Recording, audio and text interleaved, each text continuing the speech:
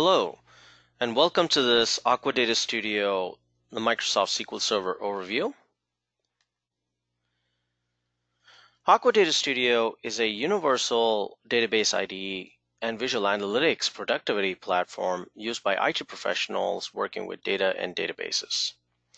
It allows you to develop and manage your databases by accessing, importing, exporting, and visually analyzing your data with ease. It supports over 30 database platforms and works on a variety of major operating systems such as Microsoft Windows, Mac OS, and Linux. And finally, it supports a combination of both relational, NoSQL, and cloud-based data sources that makes it easier for efficient data management and quick accessibility of those data management resources. So our agenda for today will be to learn how to register a server, query the database, export the query results to an Excel spreadsheet, creating a visual analytics diagram, and finally reverse engineering it to a data model. So without further ado, let's get started. Here I have the Aqua Data Studio application open. And just like you would go ahead and register any other data platform, we will be following the same procedure here as well. So what I will do is I will go ahead and right click on database servers and choose register server. Since I already have a server here already registered, I'll go ahead and edit the connection and show you how to register it. So I'll right click on the server and choose server properties. Here we can give our Microsoft SQL Server a name. So here I've gone ahead and given it as production. We can choose the type based on the drop down list and I have chosen production here. In order to recognize this particular uh, data source, you can choose a color of choice. So here I've chosen a tab color. So anytime you would initiate a new query analyzer window, you can actually go ahead and look at this tab color to make it easily uh, uh recognizable. Here we can choose the driver interface. And here I can choose uh, my authentication mechanism. We support Microsoft Single Sign-On, Windows Auth, as well as SQL Server Authentication. Next, under the location, I will give it a server name or an IP address, and I will give it the appropriate port. Then once I'm satisfied with that, I'll go ahead and choose Test Connection, and there you go. You will get a successful connection to the database. We'll go ahead and click Save. And now I'll go ahead and connect to the database, expand it, and this gives us our database navigation tree. Now, if I were to expand the Worldwide Importers uh, database, I can see the host of database objects that we support. So we have tables, views, stored procedures, user-defined functions, user roles, schemas, etc. So if I were to go expand on one of the tables, here I can go ahead and right click on one of the tables and choose select top 1000 rows and this initiates a brand new query analyzer tab and here you can see I have my log information plus the color that I chosen when I had registered the server.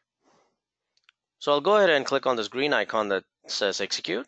I'll go ahead and click on it and I'm, I'm brought with a variety of options on the result set. So here I have a text format. Here I have a grid, I have a pivot grid, I have a form. So I'll go back to grid. Now here what we can do is we can actually uh, go ahead and export the result sets to an Excel spreadsheet. So I'll show you how it's done. Here under the result sets window, here you can see I have a green Excel icon here. So if I click on that drop down, I can say view as Excel spreadsheet and this launches the Excel spreadsheet with the appropriate data, which is pretty awesome. Now let's take a look at how we can um, uh, create uh, a query by using the query builder option. So here what we'll do is next I'll go ahead and right click on any of the tables and I'll say I'll choose query builder. This brings up the query builder uh, user interface. Here I can choose which database I'm connected to and the associated tables and views. So what I can do now is I can just go ahead and drag and drop my source table and my target table.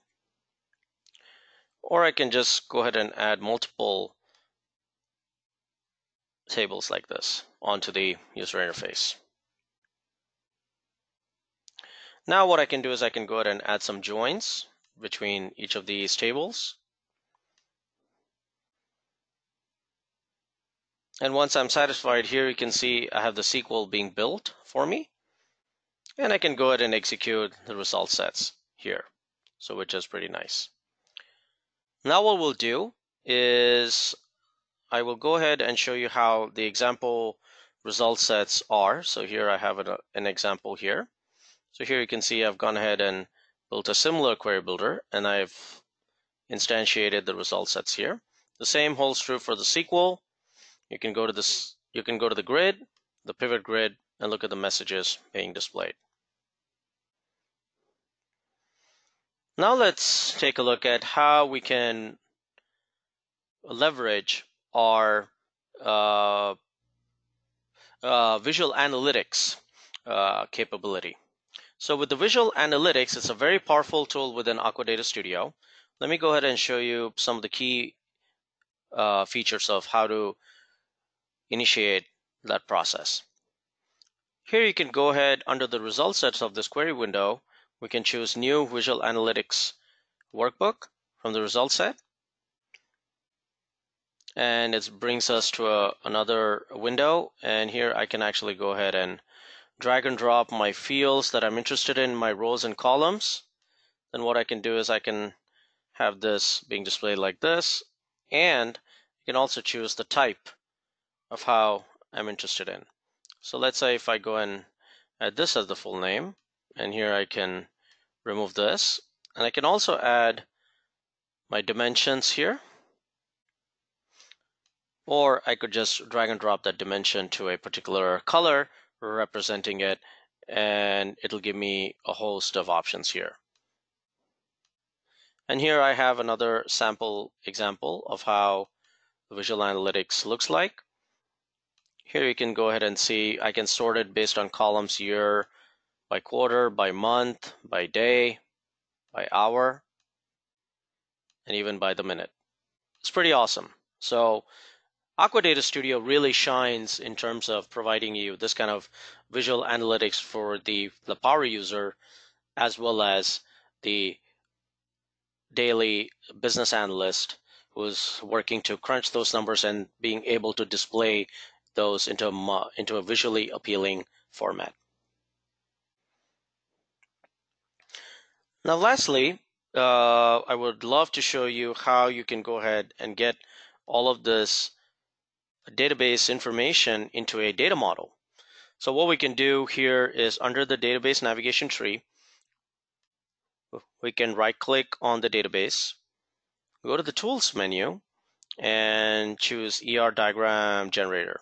Or we could go to the ER modeler uh, main menu located at the top here, and you can choose new, uh, you can choose generate from here.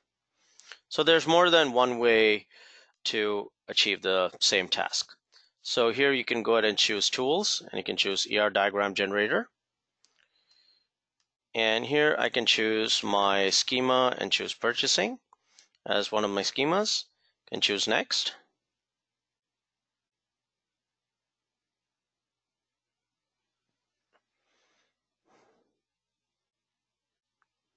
And there you go. So here you can actually go ahead and see how Aqua Data Studio really shines even at the data modeling level by providing you the concise uh, ability to visualize these data tables in a visual format, We also provide you with a nice overview window here that you can drag and drop.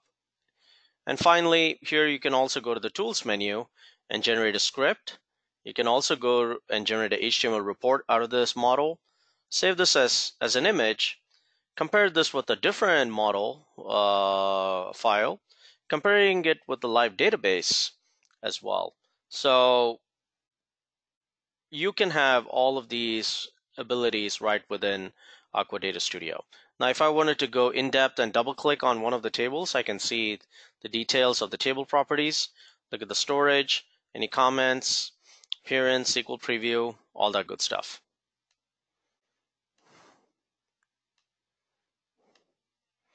So in summary, Aqua Data Studio provides extensive capabilities to improve productivity for developers, analysts, and DBAs alike.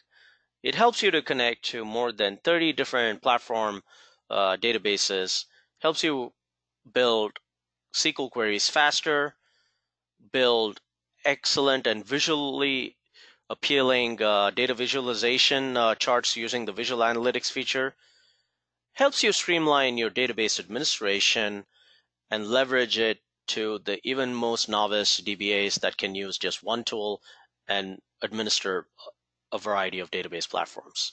And you can do so much more. So if you would like to go ahead and give it a uh, kick the tires a little bit, you can go ahead and download a free trial at aquafold.com.